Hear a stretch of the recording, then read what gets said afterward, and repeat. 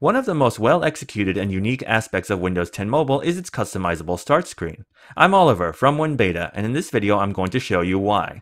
Customizing the live tile grid is simple. Press and hold any of the tiles and you can drag the position of any given tile or adjust the size of each tile into one of three discrete sizes. You can also cram each tile into tile groups by dragging one tile over another. Windows 10 Mobile allows you to go further by customizing the theme of the start screen. This can be done by going into personalization in the settings menu.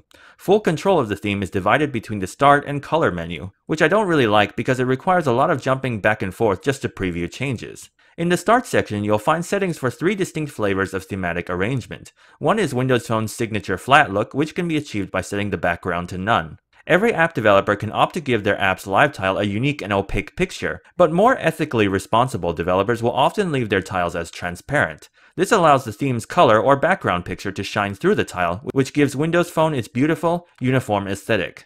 The tile picture flavor is achieved by hitting the tile picture toggle, which basically makes every transparent fair trade live tile as part of a collage that schemes to show the full background. The dividing borders of the grid are still visible, making it look as though you're staring out a window. One really cool aspect of this flavor is if your start screen is particularly long, the background gives a parallax view that pans itself independent of the moving foreground. The final full screen picture flavor basically combines the above two. The background is now literally a background, and the setting grants you a transparency slider to control how intense the tile color theme shines through.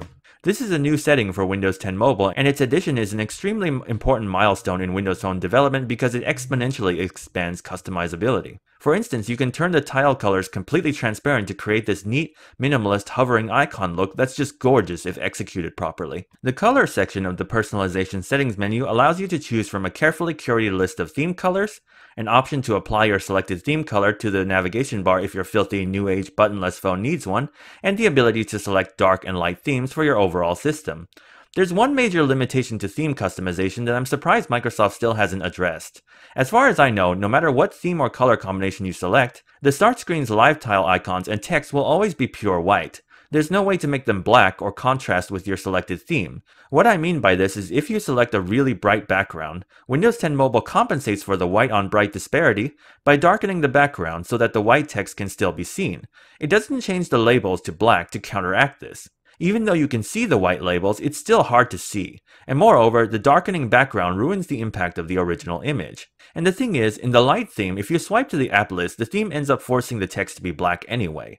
Even the heads-up display is black as well, so I don't see a plausible reason to enforce this restriction. I really hope Microsoft eventually offers a way to customize how we want our labels to be colored, how much we want our backgrounds to be contrasted against the labels, or even better, have a way to automatically detect the most appropriate color scheme for the labels. Ultimately, Windows 10 Mobile, despite some of its peculiar faults I've discussed in many previous dissections, the start screen continues to be one of its most defining and lauded features. So have fun making the start screen your own, and I'll see you guys next time.